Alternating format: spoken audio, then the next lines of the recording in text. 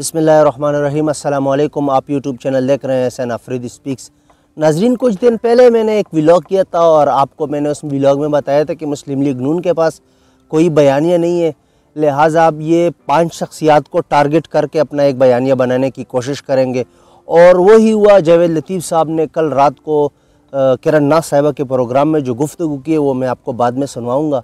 कि उन्होंने जो बयानिया बनाने की कोशिश की है, वो वही पाँच लोगों को, पाँच शख्सियात को इन्होंने टारगेट किया है। शख्सियात कौन है? एक इमरान खान साहब हैं, एक जनरल बाजवा है, एक जनरल फैज़ हमीद साहब हैं, और दो चीफ़ जस्टिस है, सबक आसिफ सईद कोसा साहब और जस्टिस साकिब निसार साहब। इन पाँच लोगों को इन्होंने टारगेट किया है और बयानिया इन्होंने ये बनाया है कि 2017 में नवाज़ शरीफ साहब की हुकूमत इन पाँच शख्सियात ने गिराई और फ़ायदा इमरान खान साहब को हुआ, हुकूमत उनको मिली।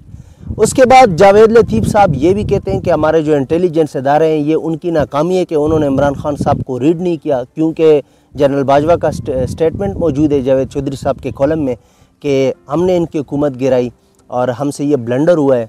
तो जावेद जावेद लतीफ़ साहब ने भी सीधा सीधा जनरल बाजवा के ऊपर इल्ज़ाम लगाया कि ये तो इनका ब्लंडर था, इमरान खान साहब को इन्होंने लाया आईएमएफ के साथ इन्होंने माहे किए तो अब हम क्या करें?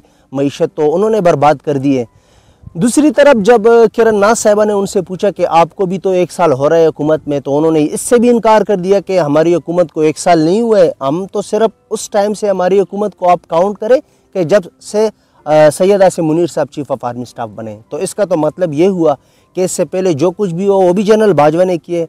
क्योंकि नेप के कवानीन किसने बदले? नेप के अंदर केसेस किसने ख़त्म किए? एन आर ओ टू किसने दिया?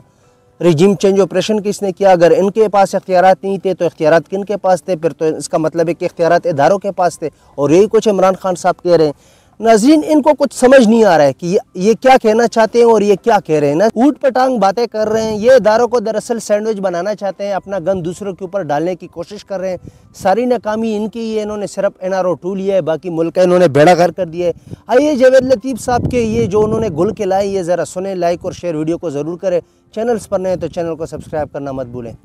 बदकस्मती ये है कि जो इंटेलिजेंस अदारे हमारे सरहद पार देखने की सलाहियत रखते हैं जिन पर हमें नाज है उन अदारों पे। क्या उनको उस वक्त इलम नहीं था जो आज बकौल इमरान खां के जन्ना बाजवा में कहते हैं कि ये तुम प्ले बॉय थे? तो क्या उस वक्त उनको इलम नहीं था कि ये प्ले बॉय हैं? क्या हमारे इंटेलिजेंस अदारों को उस वक्त इलम नहीं था कि जिसको लॉन्च कर रहे हैं वो क्या गुल खिलाएगा? और आज अगर इमरान खान मुतालबा कर रहे हैं कि जनरल बाजवा की अदारा इंक्वायरी करे तो मैं इसको सपोर्ट करता हूँ दो हज़ार सतारह में जो जो लोग पाकिस्तान की तबाही और बर्बादी का मूजब बने जिन्होंने रजीम चेंज उस वक्त की उस रजीम चेंज के जो किरदार हैं वो जनरल बाजवा जनरल फैज़ आसफ खोसा और साकब निसार और हम्म। उनके साथ बेनिफिशरी इमरान खान अब ये पाँच किरदार जो हैं अगर इनका कोई इन्वेस्टिगेट करेगा तो आपको इल्म हो जाएगा कि कहाँ कहाँ से इनको सहूलतकारी थी और क्या क्या इनका एजेंडा था जिसकी वजह से पाकिस्तान इस नहज तक आ गया। खान अब्बासी साहब कहते हैं इमरान खान को लगता है कि उनकी हुकूमत जनरल बाजवा ने गिराई है तो उन्हें गद्दारी का मुकदमा दर्ज करवाना चाहिए। आ, लेकिन सर मुस्लिम लीग नून भी तो नवाज़ शरीफ साहब को हटाने और इलेक्शन में हराने का इल्ज़ाम उन्हीं पर ही आयद करती है। भाई देखें गद्दारी का मुकदमा एक जनरल मुशरफ पे मुस्लिम लीग नून जो है वो दर्ज करवा के आज तक भुगत रही है। हाँ ये ज़रूर है कि हमने जो मुकदमा परवेज़ मुशरफ पर दर्ज करवाया था उससे मार्शल्ला का रास्ता तो रुक गया मगर ये नहीं हो सका कि उस अदारे की या उन लोगों की मदाखलत ख़त्म हम करवा सके या उसको सजा दिलवा सके। तो भाई ये मुकदमा दर्ज करवाना चाहता है तो आए बिस्मिल्लाह। सर, सर अब तो मुदाखलत खत्म हो गई ना अब तो डेढ़ महीने से है आपकी हुकूमत। ये जो दो महीने की आप हुकूमत कह रहे हैं क्या ए पॉलिटिकल अगर एक अदारे को आप समझ रहे हैं जिनकी तरफ़ से जिनके तर्जमान ये बारहा कह चुके हैं चले तो मरियम साहबा कह रही हैं आप लोगों का मौका डेढ़ दो महीने से सर वैसे वैसे तो मार्च से है आपकी हुकूमत। साल होने वाला है माशाल्लाह।